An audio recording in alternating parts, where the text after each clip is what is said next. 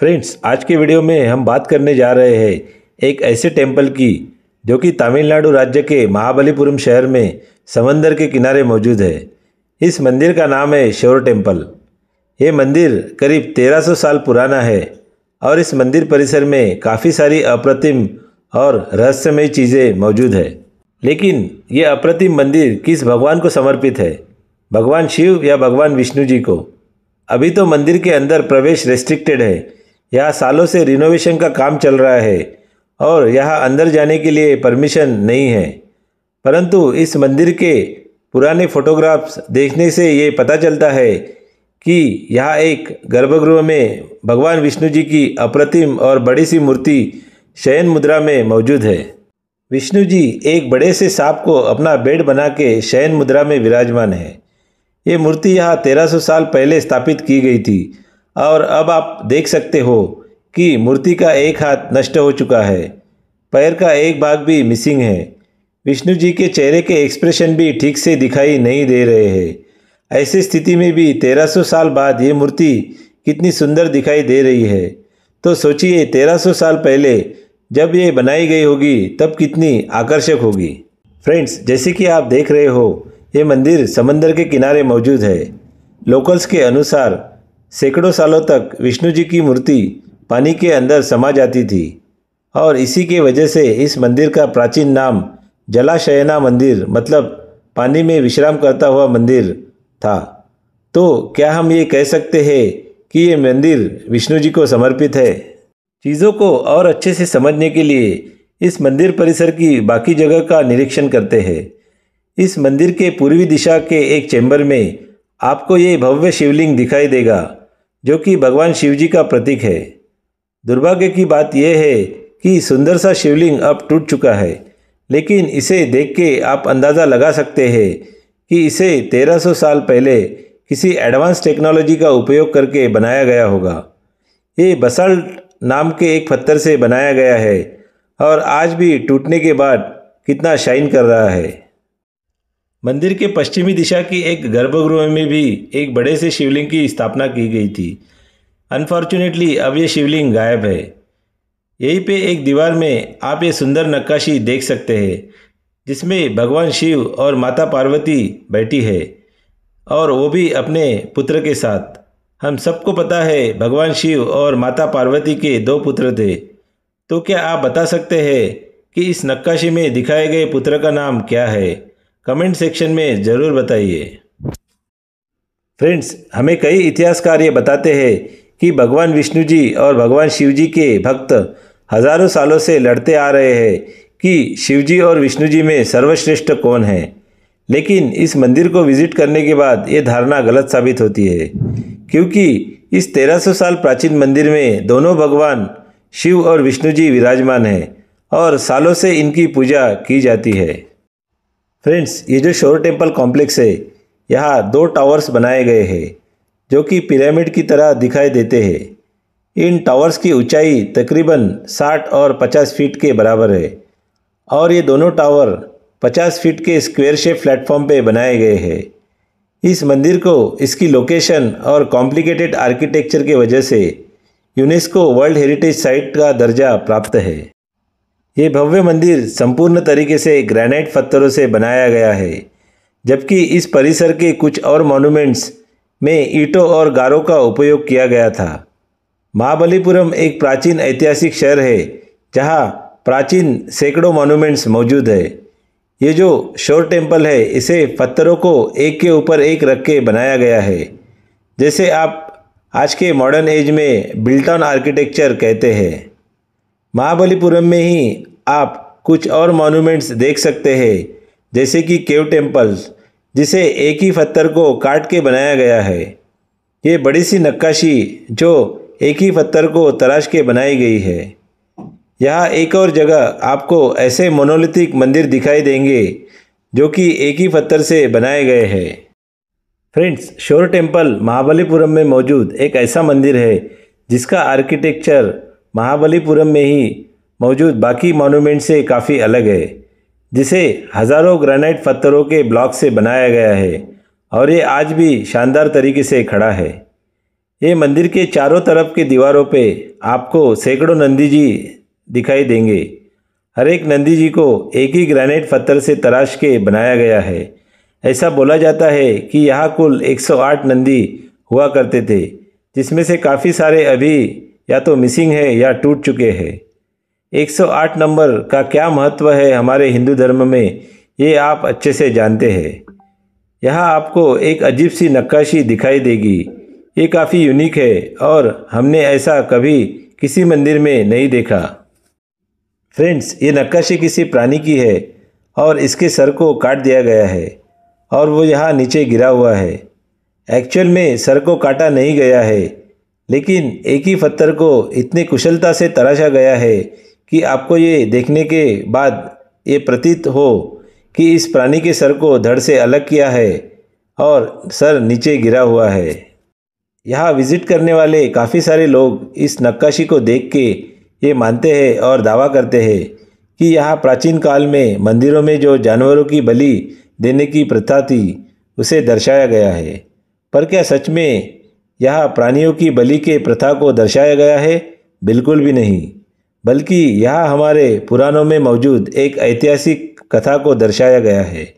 इसके बगल में ही आपको ये बड़े आकार में शेर की नक्काशी दिखाई देगी और इस शेर के ऊपर एक देवी भी विराजमान है और इसके अंदर एक छोटे रूप में जो आप नक्काशी देख रहे हैं, ये माता पार्वती के महिषासुर मर्दिनी अवतार को दर्शाया गया है।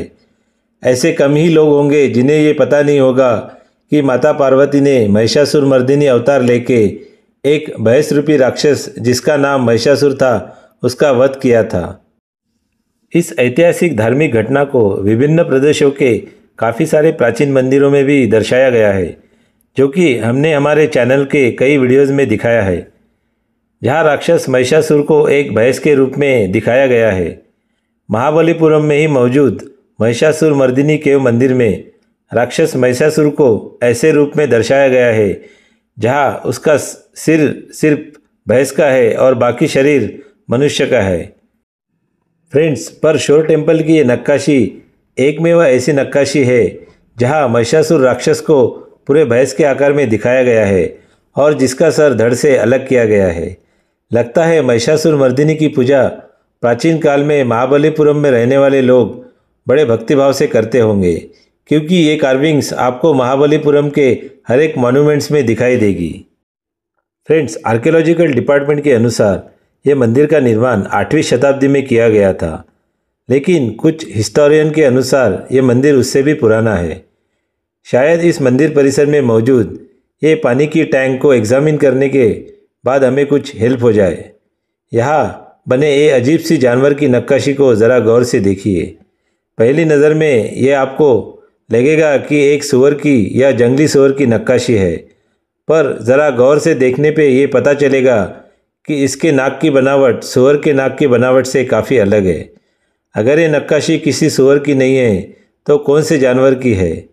आज के एज में ऐसा दिखने वाला प्राणी पृथ्वी पे उपलब्ध नहीं है। लेकिन सरप्राइजिंगली एक ऐसा विलुप्त जानवर कभी हुआ करता था जो नक्काशी में दिखाए गए जानवर से एकदम मेल खाता है। इस जानवर का नाम था डिओडेन, जो कि एक सुअर की प्रजाति थी और उसका स्ट्रक्चर इस नक्काशी में दिखाए गए जानवर से काफ़ी मेल खाता है। परंतु ये प्राणी लाखों साल पहले ही धरती से विलुप्त हो गए थे। तो इस प्राणी की नक्काशी 1300 साल पहले बनाए गए इस मंदिर में कैसे बनाई गई थी? फ्रेंड्स कुछ लोग ये भी बोलेंगे कि नक्काशी बनाते हुए कारागिर से गलती हुई थी और उसको एक्चुअल में एक सुअर की नक्काशी या बनानी थी, पर गलती से कुछ और बना दिया। परंतु ऐसा बिल्कुल भी नहीं है। इसी प्राणी की नक्काशी आप महाबलीपुरम शहर में मौजूद बाकी जगह भी देख पाओगे। तो इसका मतलब यही है कि ये नक्काशी बनाते वक्त कोई गलती नहीं हुई है और ये प्राणी की नक्काशी विलुप्त हुए हुए जानवर की ही है। परंतु ये कैसे संभव है ये संभव तभी हो सकता है अगर ये मंदिर लाखों साल पहले बनाया गया होगा। या फिर जिन कारागिरों ने ये बनाया है, वो टाइम ट्रैवल करके प्राचीन युग की सारी जानकारियाँ प्राप्त करने में काबिल होंगे। या उन कारागिरों ने शास्त्रों को पढ़ के प्राचीन काल की सारी जानकारियाँ प्राप्त की होगी। और ये कोई एक प्रमाण नहीं है। कर्नाटका के कई प्राचीन मंदिरों में भी आपको ऐसी नक्काशियाँ देखने को मिलेगी, जो आपको ये सोचने पे मजबूर कर देगी। फ्रेंड्स आपके इस बारे में क्या विचार है, ये कमेंट सेक्शन में ज़रूर बताइए। फ्रेंड्स ये जो शोर टेंपल है, ये लाखों लोग विज़िट करते हैं, और यहाँ आके आपको एक अजीब सी ऊर्जा का एहसास होगा। हर दिन सूरज की पहली किरण इस मंदिर में बने हुए शिवलिंग पे आके गिरती है। इस शिवलिंग को ऐसे ही यहाँ पोजीशन किया गया है। ये सब देख के ये तो मानना होगा कि हमारे पूर्वज हज़ारों सालों पहले ही साइंस का पूरा ज्ञान रखते थे। इस मंदिर की दीवारें ग्रेनाइट पत्थर से बनाई गई है, परंतु ये शिवलिंग और ये मंदिर में टॉप में मौजूद पत्थर को ब्लैक बसाल्ट रॉक से बनाया गया है।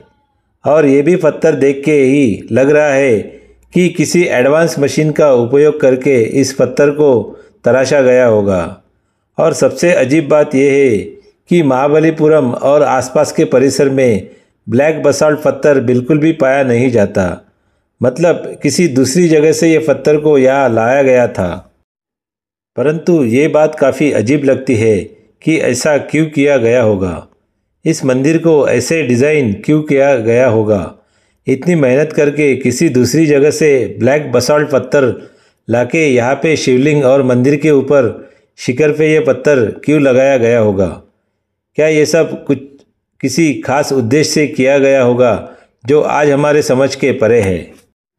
फ्रेंड्स महाबलीपुरम के हज़ारों मोनूमेंट्स देख के आपको ये समझ में आएगा कि कोई तो ऐसी एडवांस टेक्नोलॉजी प्राचीन काल में इन लोगों के पास होगी, जिससे इन बड़े बड़े पत्थरों को इतने कुशलता से काटा और तराशा गया होगा।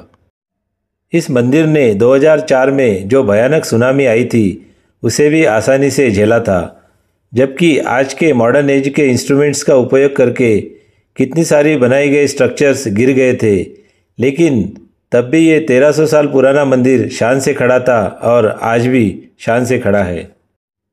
इनफैक्ट ऐसे बोला जाता है कि सुनामी का पानी कम होने के बाद इस मंदिर परिसर और इस बीच परिसर में काफ़ी सारे मॉन्यूमेंट्स रेत से ऊपर आके दिखने लगे, जो कि सैकड़ों सालों से रेत में दबे हुए थे।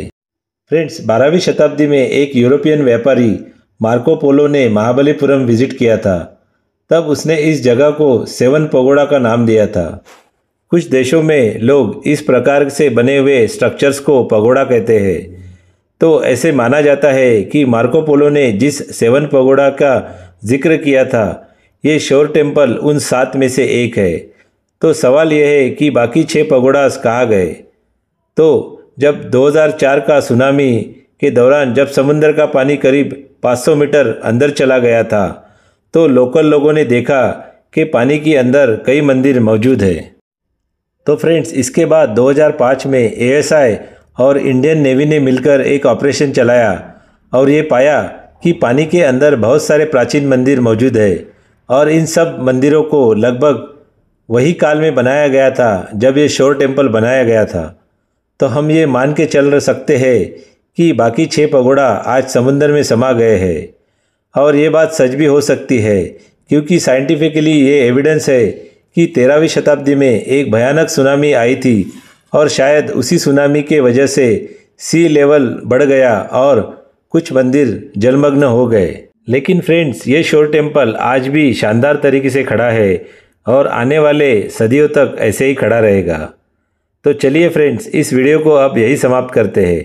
अगर आपको ये वीडियो अच्छा लगा तो वीडियो को लाइक कीजिए। और फ्रेंड्स और फैमिली के साथ शेयर कीजिए। और चैनल को सब्सक्राइब करना मत भूलिए। तो जल्दी ही मिलते एक नए वीडियो के साथ। तब तक टाटा बाय बाय